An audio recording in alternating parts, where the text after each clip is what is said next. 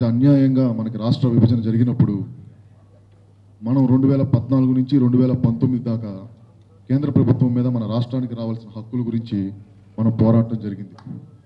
ఈరోజు మన దౌర్భాగ్యం ఏంటంటే మన హక్కుల గురించి మన రాష్ట్ర ప్రభుత్వం గురించితోనే గట్టిగా పోరాడాల్సిన అవసరం వస్తుంది. ఆ రోజున పదమూడు జిల్లాల చిన్న రాజధాని చిన్న రాష్ట్రంగా మన ఆంధ్ర రాష్ట్రం విడిపోయినప్పుడు మనకి ముప్పై వేల ఎకరాలతో అమరావతి రాజధాని కావాలని అసెంబ్లీ సాక్షిగా ఏకగ్రీవంగా తీర్మానం చేసి పంపించారు. అప్పుడు అది నమ్మి అమరావతిలో రైతులు దాదాపు ముప్పై వేల ఎకరాలని స్వచ్ఛందంగా మన రాష్ట్ర భవిష్యత్తు కోసం ఇవ్వడం జరిగింది.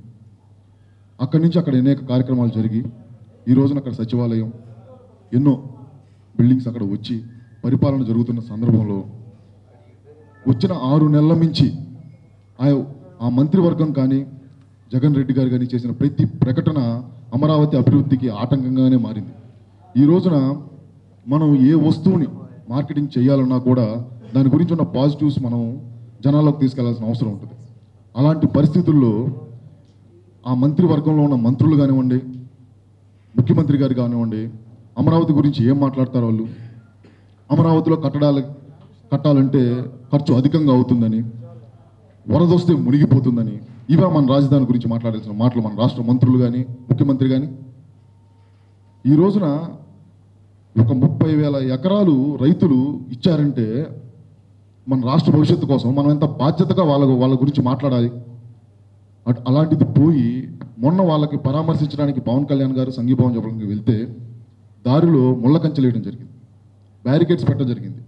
మీరు ప్రత్యేక హోదా గురించి వచ్చినప్పుడు విమానాశ్రయంలో చేతులు అడ్డ పెడితేనే మీకు అంత కోపం వచ్చిందే? కాబోయే ముఖ్యమంత్రి అని వాళ్ళందరూ అన్నారే అలాంటిది ముళ్ళ కంచెలు మన రాష్ట్ర ప్రజల కోసం ముందుకు వచ్చినప్పుడు అక్కడ ఉన్న రైతులకి ముప్పై వేల ఎకరాలు ఇచ్చిన రైతుల కోసం సంఘీభావం తెలపడానికి వచ్చినప్పుడు మీరు అలా ముళ్ళ కంచెలు బ్యారికేడ్లు వేయడం దేన్ని సూచిస్తుంది?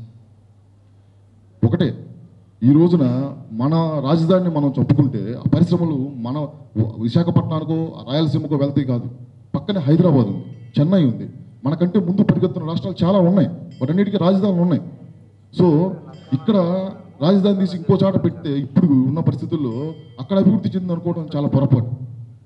ఇప్పుడున్న పోటీ ప్రపంచంలో మనం ముందుకెళ్ళాలంటే మన అమరావతిని మనం కాపాడుకొని మన అమరావతిని ఒక బలమైన రాజధానిగా నిర్మించుకోవాల్సిన అవసరం ఉంది. దానికోసం విద్యార్థి సంఘాలందరూ ఏ కార్యాచరణ అయితే చేపడతారో దానికి జనసేన పార్టీ ఎప్పుడు తోడ్పడుతుంది. బలంగా మీతో పాటు పోరాడుతుంది. జై హింద్.